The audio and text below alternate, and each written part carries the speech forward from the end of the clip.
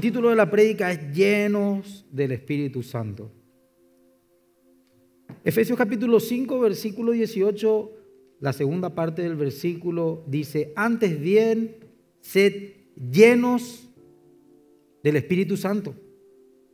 Vieron como que hay una decisión que se tiene que tomar porque es como una orden, un mandamiento. Si, vamos a leer después el contexto y dice, miren, está esta posibilidad, pero yo te recomiendo, antes bien, está este camino, pero antes mejor, está esta otra decisión que toma la gente, pero te recalco, te conviene ser lleno del Espíritu Santo. Y no voy a hablar, ¿verdad?, de, de, lo que implica los dones espirituales. Voy a hablar de cuestiones prácticas, que son muy buenas que estén primero, estas cuestiones prácticas que voy a compartir hoy contigo, que estas estén primero en nuestras vidas para que después podamos buscar aquellas otras que la gente las considera como llenura del Espíritu en relación a las manifestaciones de los dones espirituales que se dan en la vida de aquellos que han creído en el nombre de Jesús. ¿Por qué digo cuestiones prácticas? Porque aquí, en la primera parte de este versículo 18, dice, no os embriaguéis con vino. ¿Vieron que es muy sencillo? ¿Qué está diciendo la Biblia? No te emborraches, en ello hay disolución. ¿Qué quiere decir? Vas a meter la pata, vas a hacer cosas torpes, vas a pasar vergüenza. Hasta ahí parece medio hasta que puede ser motivo de poder generar algún chiste en alguna anécdota. Vas a cometer desgracias. Podés caer en infidelidad. Podés llevar a la muerte tu vida o de las que te rodean. Ahí ya, oh, no os embriaguéis. ¿Verdad? ¿Conocen? Si van a conducir, no beban, toda aquella historia. Antes bien, te conviene ser lleno del Espíritu Santo. Y voy a hablarte tres cosas que tenés que saber que tienen los que son llenos del Espíritu Santo. Y que tenés que usar así de una manera sincera en tu vida para comprender si vos estás lleno, llena del Espíritu Santo. Vamos a decir todos juntos, Señor, tengo predispuesto mi corazón. Amén. Hermano, yo cuando, cuando leía también, cuando, cuando estaba haciendo eh, esta prédica, eh, me cuestioné muchas cosas, ¿sí?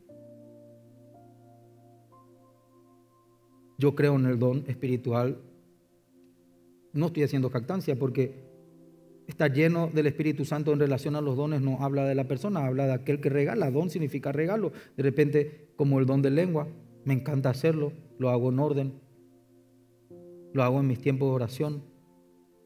Lo hago cuando escucho música. Me encanta orar en el espíritu. También me encanta orar en el entendimiento, pero eso lo puede de repente hacer todo el mundo, ¿verdad? Todo aquel que cree. Pero me refiero a esos dones espirituales. Tengo visiones, tengo sueños, tengo experiencias espirituales. Me encanta. Pero la Biblia dice que me conviene más que me encante que me guste, que me apasione, que sea mi norte, mi razón, el latido de mi corazón, mi emoción, las líneas de mis pensamientos, estos tres factores que te voy a hablar hoy en relación a lo que implica estar lleno del Espíritu. Estar lleno del Espíritu es simplemente esto, imitar a Dios, parecerle a Él. ¿Y quién es Dios? Dios es lo que dice que Dios es. ¿Y dónde encontrás lo que dice que Dios es? En la Biblia. Paréntesis pequeño. Por favor, hagan, la escuela bíblica. No hay libro antiguo que tenga contenido histórico, que tenga contenido arqueológico, que tenga contenido eh, poético, que tenga contenido. Wow, podemos estar toda la noche hablando de todo lo que contiene este libro único, único. Lo repito, y nadie tome ofensa de ninguna otra religión. No es mi deseo ofender, es mi deseo estar siendo como una herramienta de Dios en el llamado que Dios hace a los escogidos. Es un libro único en todo lo que implica su compendio, la forma que fue sostenida a lo, largo de los siglos, la forma como, no cae en contradicciones, cómo mantiene una misma línea, siendo escrita por distintos hombres a lo largo de la historia, con distintos oficios, con distintos contextos, contexto de victoria, contexto de esclavitud, gente, gente que es eh, eh, pescador y, gente que tenía eh, la ciencia de la medicina, estoy hablando de Pedro, de Lucas, estoy dando ejemplos. fantástico, sorprendente, único. Es la palabra de Dios.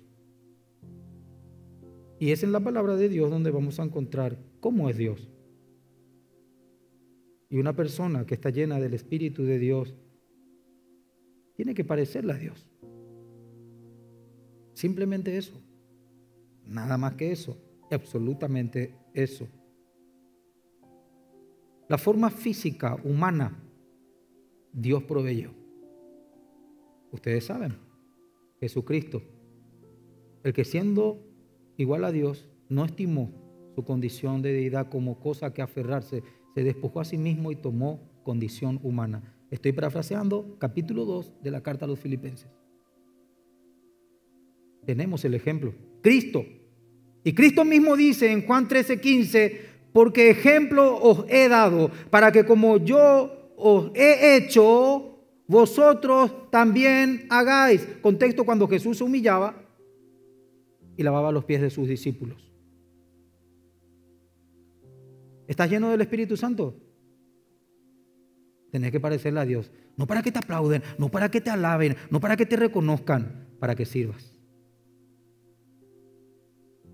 Sí, van a venir los reconocimientos, todas esas cosas, pero tranquilo, Dios te va a mantener calibrado si Él verdaderamente tiene un plan contigo. Él va a mantenerte calibrado. Miren, lo que estamos hablando es es glorioso. ¿Saben por qué? Porque encontramos en la Biblia, todo lo puedo en Cristo que me fortalece. Diga al débil, fuerte soy. Pero también encontramos, tranquilízate mi rey. Así nomás, débil. Porque en tu debilidad, mi poder, dice Dios, se perfecciona, se hace notorio. De que en verdad soy yo el que está contigo. No son solamente tus fuerzas. No se olviden de Gedeón cuando toma un ejército, ya había recibido la orden de Dios, que por medio suyo Israel iba a ser liberado de la, de la mano de los madianitas. Y se queda, no voy a hablar de todo el recuento de cómo se hace para que Dios vaya recortándole el ejército y de todos los principios espirituales que ahí podemos tomar, pero se queda con 300 hombres contra un ejército de miles. ¿Y qué le dice Dios? Para que Israel no diga que con sus propias manos se libró de su enemigo.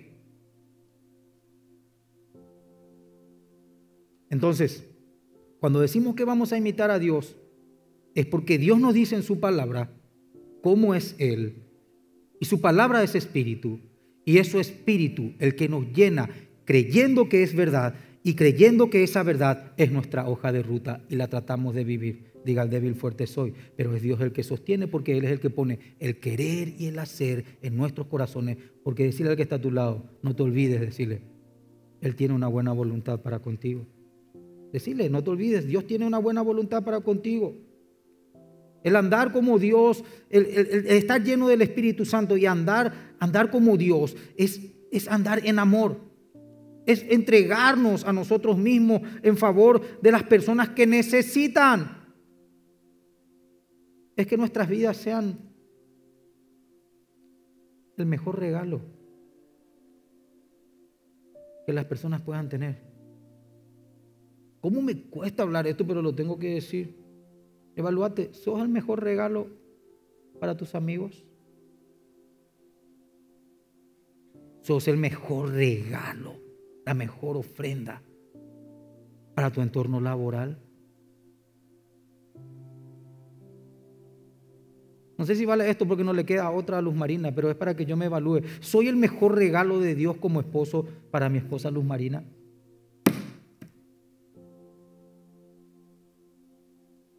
No sé si todos vamos a decir lo mismo. Prosigo el llamamiento. No lo pretendo haber ya alcanzado. No lo usemos como excusa. Dice la primera carta a los Corintios 11, ¿Están ahí? Sean, lo leo de esta manera, imitadores de mí, así como yo imito a Cristo.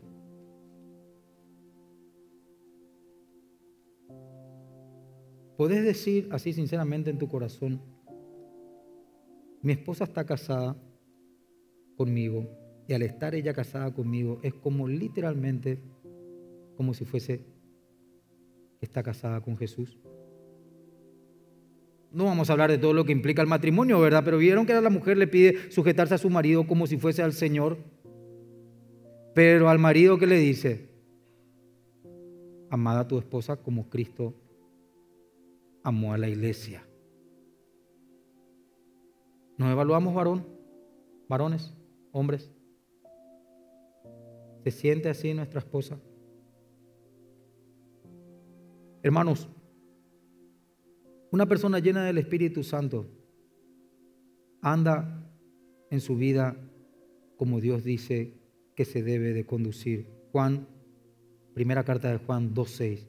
El que dice que permanece en él debe andar como él anduvo. Se refiere a Jesucristo nuestro Señor. Y Jesucristo, el apóstol Pedro, en su primera carta, en el capítulo 2, en el versículo 21, dice que Él sufrió y en su sufrimiento Él no dejó una hoja de ruta también para que podamos entender que andar como Dios anduvo en la tierra, contexto, gobierno de pecado. Qué mala onda, pero qué bendito entenderlo. Lo repito, Dios hecho hombre en esta tierra caída contexto de pecado. La Biblia dice de esta manera, el mundo está bajo él. ¿No saben ese pasaje? ¿Bajo quién? Bajo el maligno.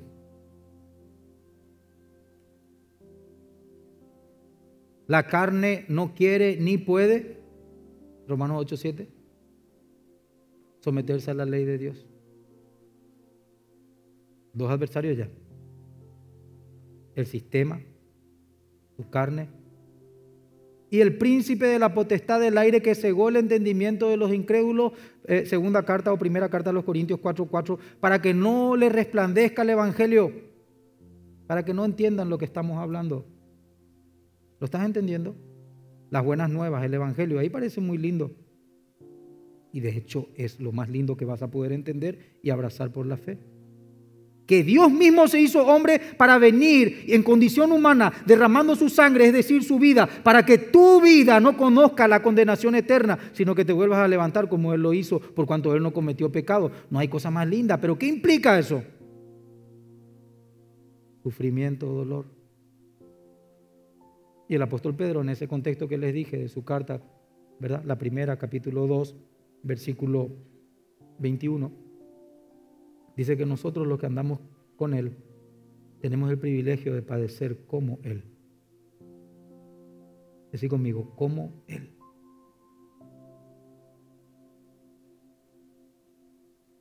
Y así como Él fue sostenido, decimos otra vez, nosotros seremos sostenidos como Él. Por el Espíritu Santo que viene en nuestros corazones a través de la voz de Dios su bendita e infalible palabra. Entonces, una persona llena del Espíritu Santo es un imitador de Jesús. Y cuando imita a Jesús, en el proceso, esta persona se siente hijo. Si uno no imita a Jesús, si uno no trata de imitar al autor y al consumador de nuestra fe, va a imitar a otros. Repito, si vos no imitas a Jesús, al que la Biblia revela y dice que es Cristo, vas a imitar a otra gente. No hace falta que lo explique, ¿verdad? ¿A quién estás imitando? ¿Verdad? A un cantante,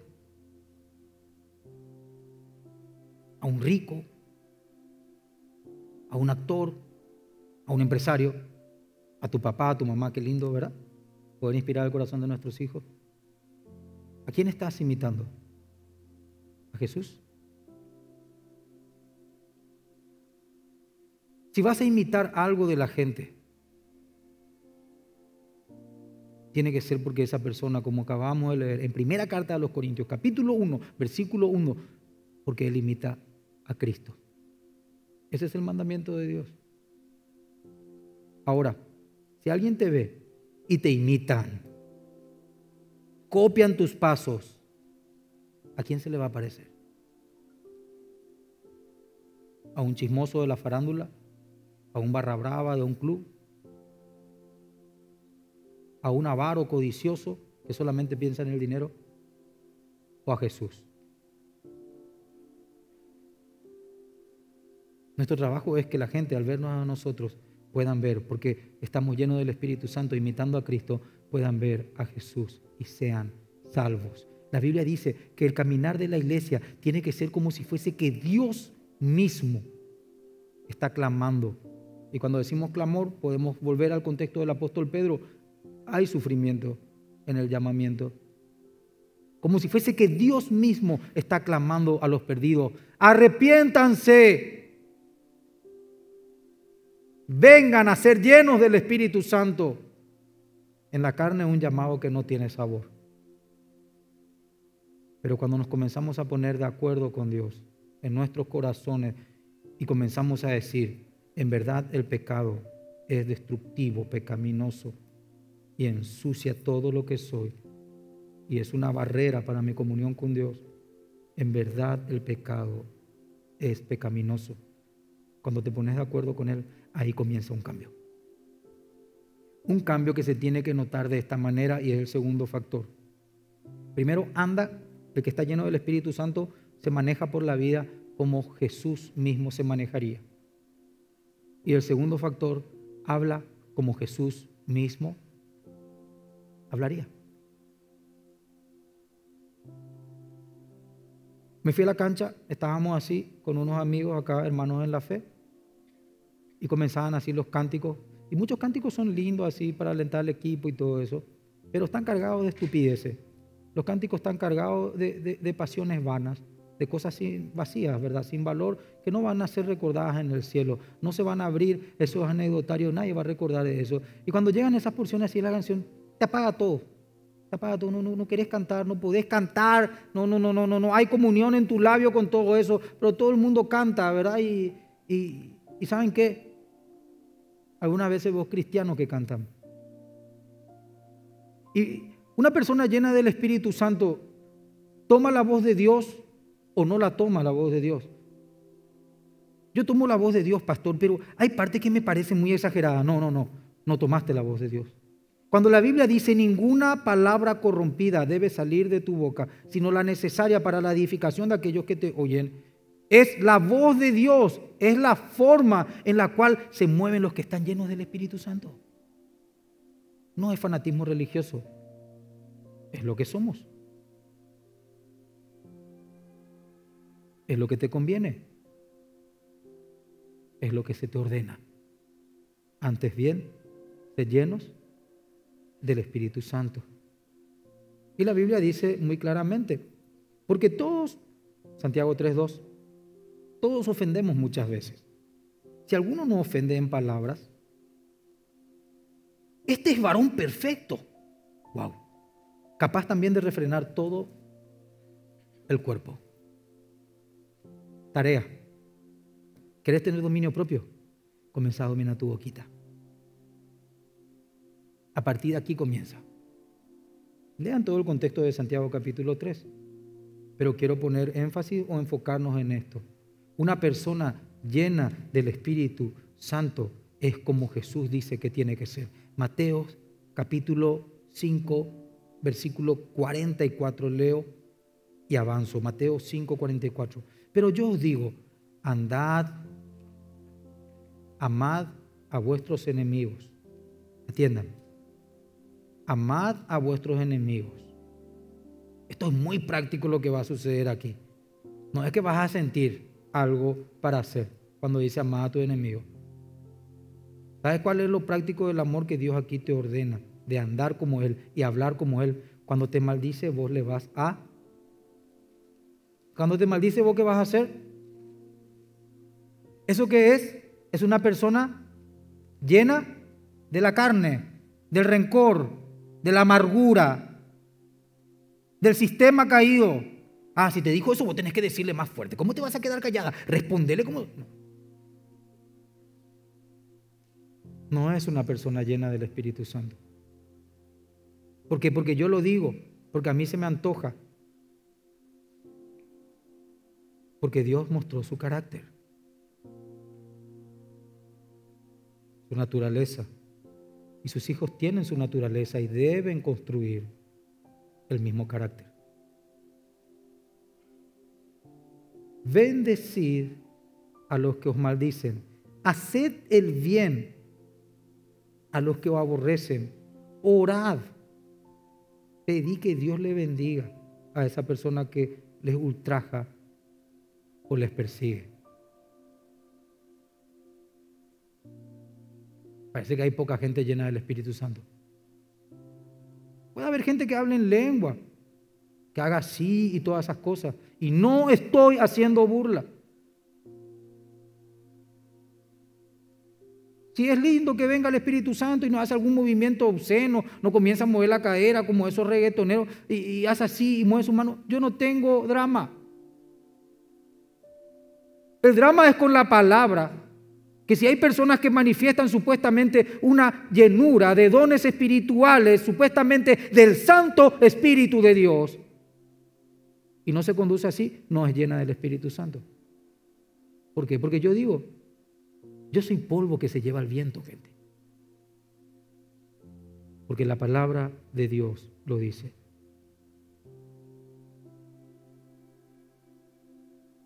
¿45? ¿Para qué? Decir, ¿para qué seáis qué cosa? Evangélicos, católicos, más que vencedorianos para que seáis hijos de vuestro Padre que está en los cielos, que hace salir su sol, Él es nuestro ejemplo, nuestra hoja de ruta, nuestra razón de ser, se trata de Él, que hace salir su sol sobre malos y buenos,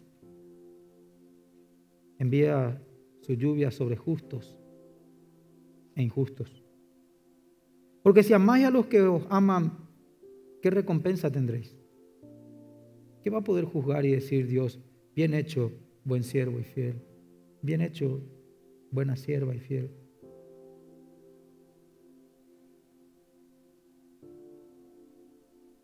Repito, porque si amáis a los que os aman, ¿qué recompensa tendréis?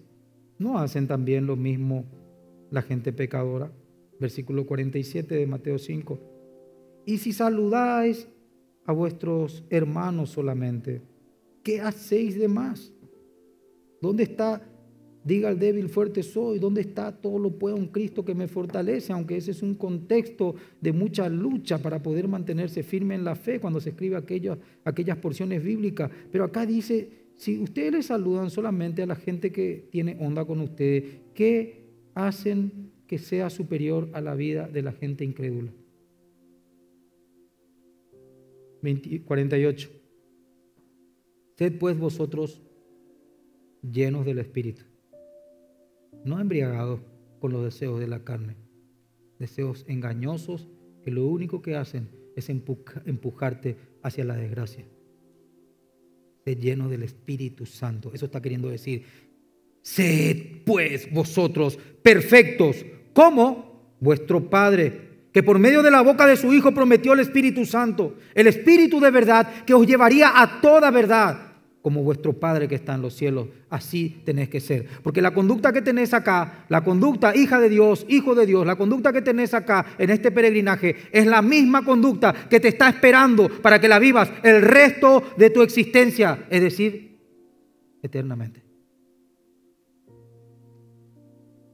¿Qué estás viviendo que no va a ser reconocido en el cielo?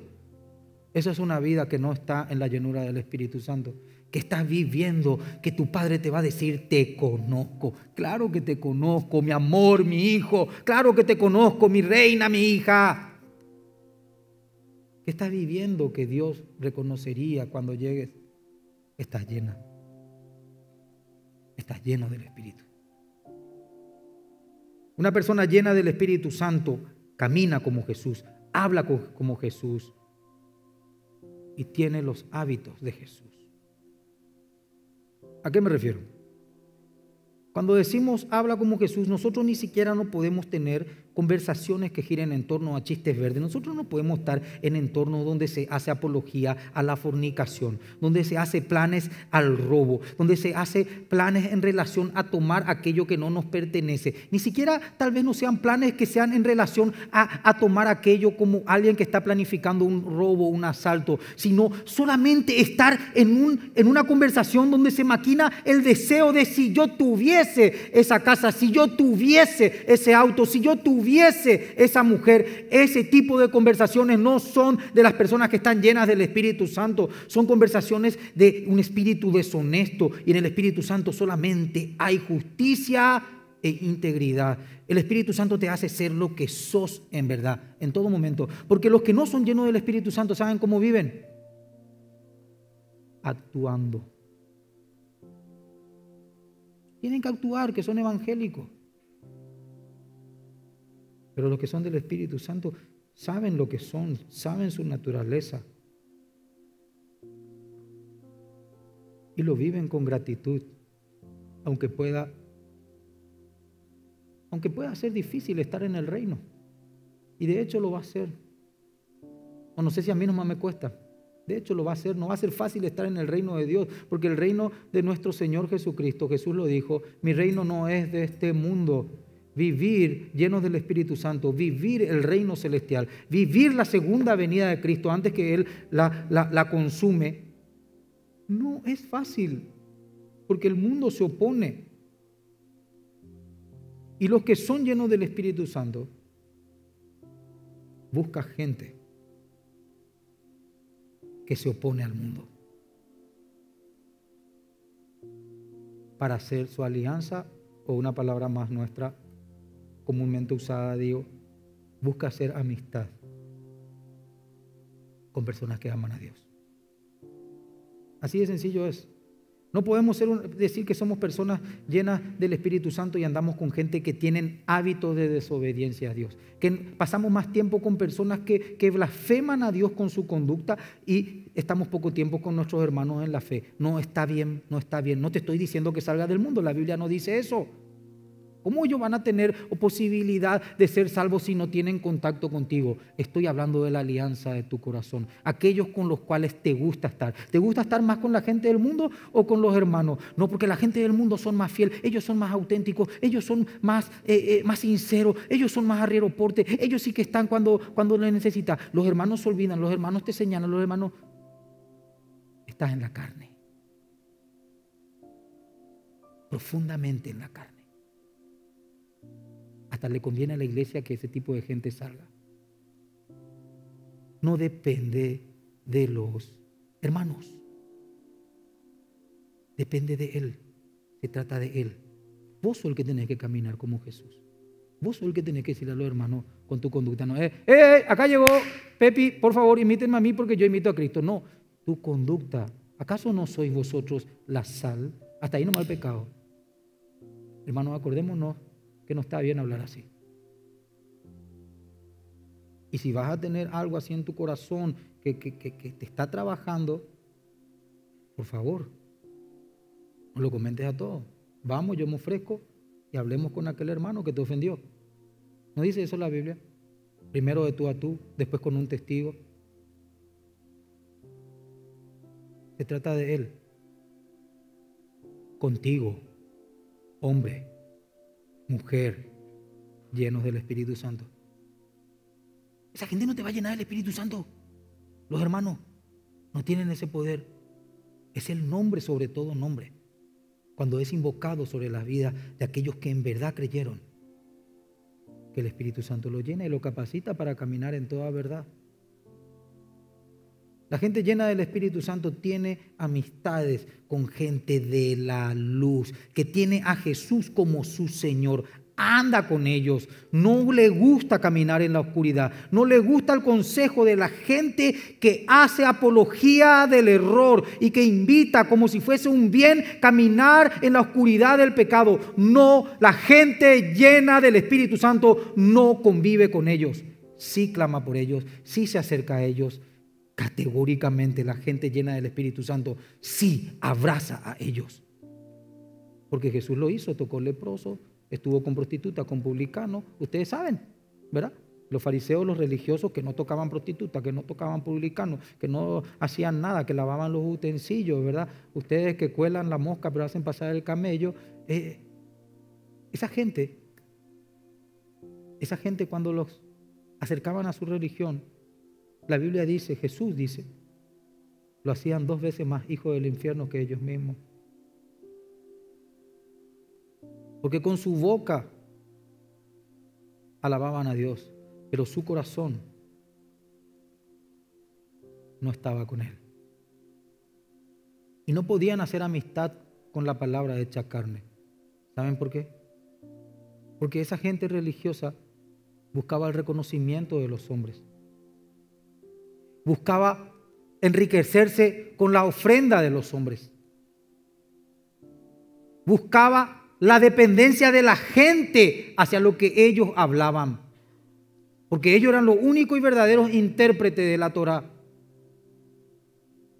Y generaban una dependencia de las personas hacia el sistema religioso. Pero no tenían la capacidad de llevar los corazones a Dios. Porque no eran llenos del Espíritu. ¿Saben por qué? Porque no recibieron al Mesías. ¿Recibiste a Jesús en tu corazón? ¿Quién recibió a Jesús en su corazón?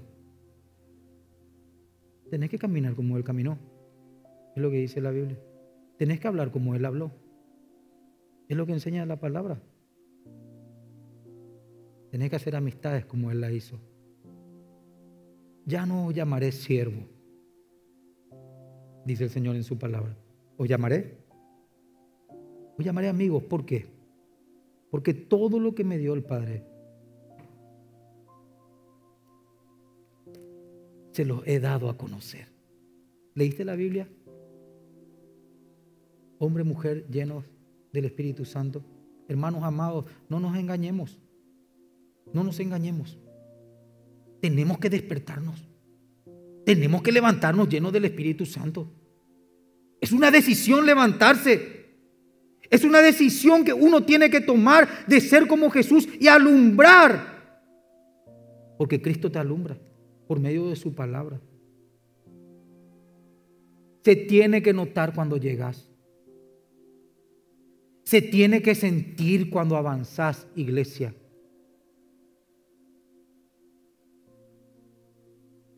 Una persona llena del Espíritu Santo es una persona que sabe la voluntad de Dios, la sabe por medio de su palabra. Yo no sé lo que Dios tiene para mí, yo no sé lo que Dios quiere para mí, yo no sé si Dios me quiere. Estás en la carne. Comenzá por eso poquitito que sabes. Padre, te alabo porque estas cosas las escondiste a los sabios y a los entendidos de este siglo y las diste a entender. Sí, Padre, así te agradó a los que son como niños. Si Dios dice que tu prosperidad está en el sudor de tu rostro con honestidad y diligencia, deja de jugar bingo. Hay que ser llenos del Espíritu Santo. Hay que prosperar conforme Dios dice, debemos prosperar caminando como Jesús, hablando como Jesús y haciendo amistades como Jesús la hizo, dando todo lo que sos, porque todo lo que el Padre me dio les he dado a conocer. No escatimó nada. Hasta su última gota de sangre. No os embriaguéis con vino, en lo cual hay disolución. Antes, antes bien, sed llenos del Espíritu Santo ¿Cómo soy lleno del Espíritu Santo? Decirle a alguien que está a tu lado, ¿cómo soy lleno del Espíritu Santo? Decirle. Y decirle vos, la Biblia te va a enseñar. Porque esa letra, decirle, es espíritu. Pero no nos engañemos, gente. Ponemos así tu, así tu dedo de la victoria. ¿Cuántos dedos hay? Hacemos chistes. Cuatro, dice alguna, ¿verdad? Dos. ¿Y acá? ¿Y dos más dos? Decir conmigo, dos más dos da cuatro. Da gusto la matemática, ¿verdad? Es exacta. Es la ciencia, como decían los profesores, perfecta, exacta. Me encanta. No hay nada más perfecto que la palabra de Dios. Es la perfección misma invitándonos a ser perfectos como nuestro Padre es perfecto, haciéndonos nacer por su perfección, su palabra. ¿Por qué la gente que se revela y que su vida de pecado denuncia su rebeldía contra Dios tanto se obsesiona en contra de la palabra? ¿Por qué? ¿No te pusiste a pensar por qué? Porque para nosotros los hijos de Dios es ventura, para ellos es condenación. Es condena. No podés pasar como si nada, ah, la palabra de Dios, ah, no. Necesitas ser lleno del Espíritu Santo, comprender que dos más dos da cuatro. Si no lees la palabra, no vas a ser lleno del Espíritu Santo. ¿Cómo soy lleno del Espíritu Santo? Dice, ordena, antes de ser lleno del Espíritu Santo, hay una coma y continúa. Y ahí yo hago la pregunta y la respuesta está en la Biblia a partir del versículo 19. Hablen entre vosotros con salmos. ¿Qué quiere decir? Palabra de Dios. Somos llenos del Espíritu por medio de la palabra de Dios, de los salmos, con cánticos, con himnos con himnos y cánticos, dice, espirituales. Primero, ¿querés ser lleno del Espíritu Santo? Lee la bendita palabra de Dios. Jamás me imaginé que iba a estar aquí parado en este púlpito cuando comencé a leer la palabra de Dios. Solamente me sedujo, fui seducido, fui transformado. Hermanos, comencé a caminar como Jesús. Lo voy a contar para la gloria de mi Señor, no para la alabanza de, este barro, que, que sin Él soy barro para condenación, pero en Él entiendo dónde me paró, entiendo a qué me llamó. Y estaba yo en una condición donde en la penitenciaría yo era el encargado de controlar las mercaderías que pasaban. Imagínense, es así, delante de Dios estamos, no voy a venir acá a inventar una historia para querer impresionarlos a ustedes. Pero el contexto es hostil, es hostil, todo es ahí, eh, es el lugar menos indicado, lo resumo así, donde puedes intentar fingir, actuar que sos bueno. No funciona así. Es el folclore del lugar. Pongo una palabra lai al decir folclore. Es la idiosincrasia, es el espíritu que opera allí. Así es. Y venía la presión porque yo tenía que controlar. Era un lugar donde compraban los cantineros, ¿verdad? Y yo tenía que, me pedían los cantineros, yo tenía que controlar lo que pasaba. El agujero estaba así en la muralla, otros dos internos preparaban, pero yo era el, el que controlaba lo que pasaba, imagínense. Y no hacía pasar nada de más. Y habían las amenazas. Y yo después cuando tenía que ir a dormir a mi celda, tenía que pasar en medio de ellos. ¿Quién quiere problemas? ¿Quién busca enemigos de la nada? La palabra de Dios me hizo alumbrar. Y me dijeron así en guaraní, me decían, ¿verdad? Que cuando yo salga voy a volver, que yo solamente, porque la verdad que tenía un privilegio de estar ahí, porque recibía mi visita hacia ahí, hacia adelante y después tenía que ir hacia mi sector para dormir, ¿verdad? La noche. Y que yo solamente por estar ahí supuestamente era honesto. Y testifiqué. Y le dije, yo no sé si cuando salga voy a volver a caer, voy a volver atrás. Que fue lo que me dijeron así en forma de maldición. Pero yo lo único que sé que mientras Jesús esté en primer lugar en mi vida, yo no voy a volver atrás.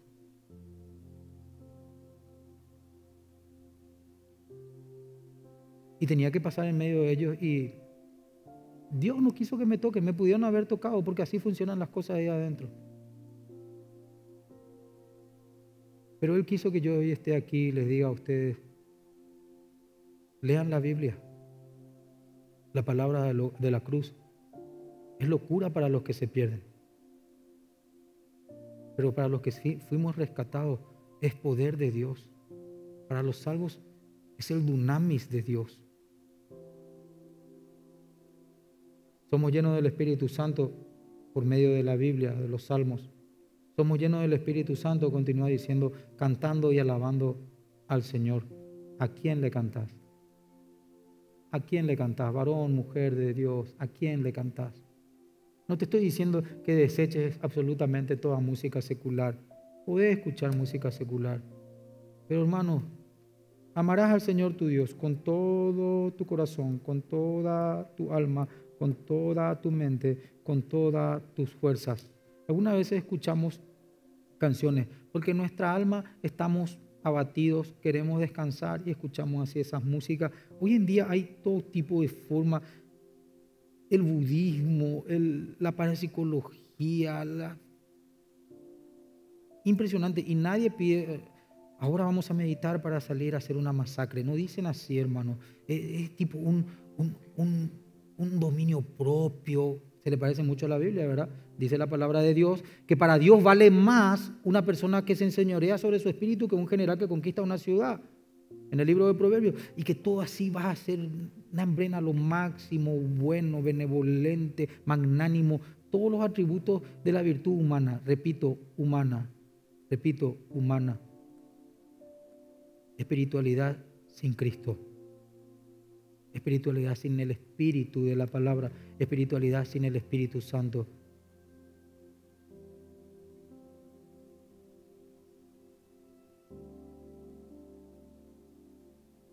Están muertos.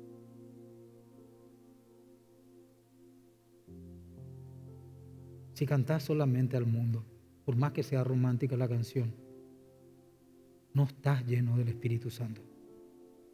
¿Por qué? Porque yo lo digo, porque quiero ser aburrido, porque quiero ser un fanático religioso. Bendito, bendita es palabra de tu papá. ¿De quién naciste? Solamente de la carne, lo que nace de la carne, carne es, pero lo que nace del Espíritu, Espíritu es. Si sos lleno del Espíritu, sí o sí, no puedes pasar un día sin cantar alabanza a tu Señor desde lo más profundo de tu corazón. Si quieres ser lleno del Espíritu Santo, hayamos dicho, ¿cómo soy lleno del Espíritu Santo? Por medio de hablar la palabra de Dios, por medio de cantarle al Señor. Tercer paso, dando siempre gracias a Dios. Y me encanta, por todo. No es cuando las cosas van mal, perdón, cuando las cosas van bien, porque cuando las cosas van mal, eh, nadie quiere decir, ay, Dios está conmigo, ¿verdad? Hasta parece que tenemos vergüenza de decir, eh, eh, no sé lo que pasó. Hermanos, el amado del cielo, el único hombre que su boca no tocó mentira, murió desnudo en un madero. ¿Qué es que te maldigan? ¿Qué es que te persigan? Simplemente esto, tu oportunidad para que experimentes que estás lleno del Espíritu Santo de Dios, para que le hagas el bien que no se merecen, para que ruegues la conversión, el arrepentimiento y la salvación de ellos para que seas como Jesús, no vas a poder experimentarlo de otra manera. No vas a poder experimentar la llenura del Señor de otra manera si no es por medio del sufrimiento. Las cosas lindas te las puede dar el mundo, también te las puede dar Dios. ¿Recuerdan cuando leíamos eh, Eclesiastés capítulo 9? Joven, disfruta. Joven, conquista. Da gusto. Pero vas a entender el verdadero juicio de Dios en los momentos de dificultad. como cuando Jesús en la cruz del Calvario dijo, Elí, Elí, lama sabactani, y sufrió nuestra separación eterna, siendo que Él es Dios, en su cuerpo humano, dijo, Padre, ¿por qué me has abandonado? Pero el Padre rasgó el velo de arriba abajo para que vos y yo tengamos acceso a su presencia.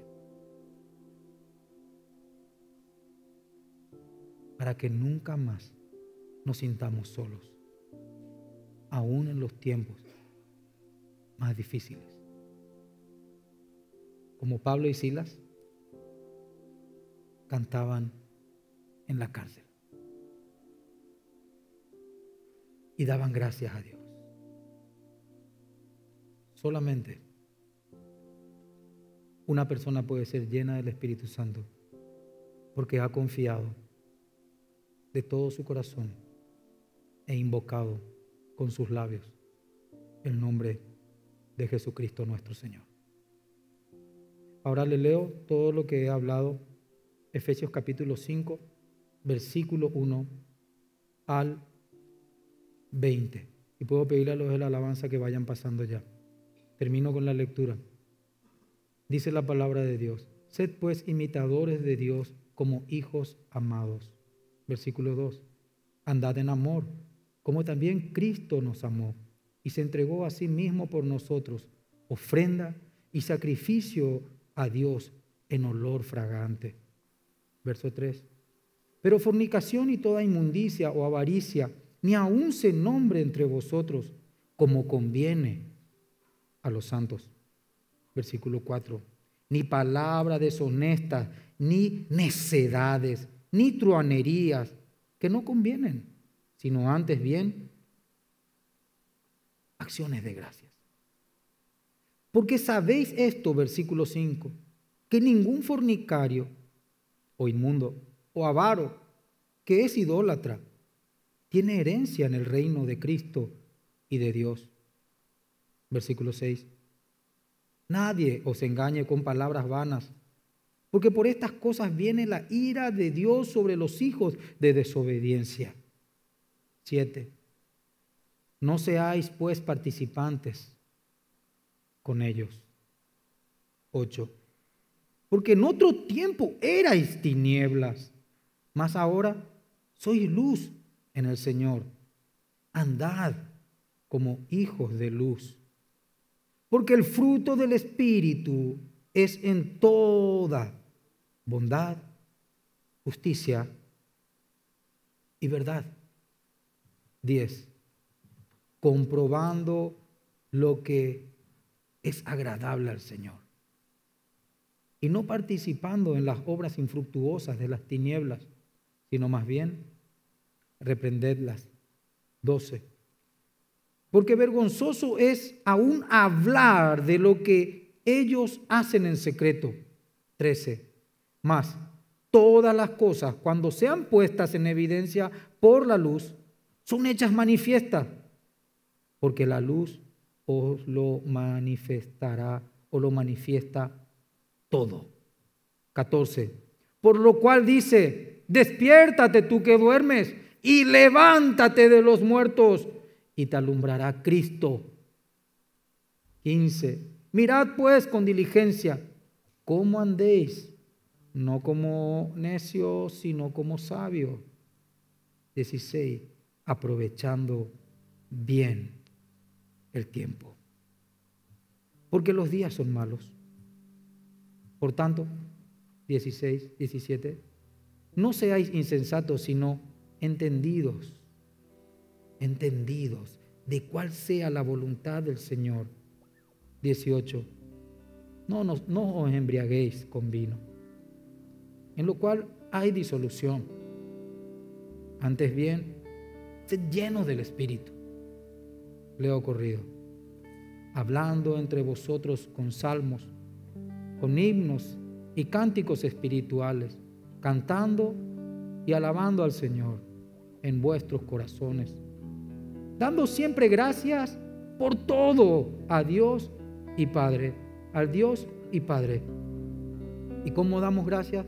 Lo hacemos en el nombre de nuestro Señor Jesucristo y la iglesia dice, amén. Nos ponemos en pie.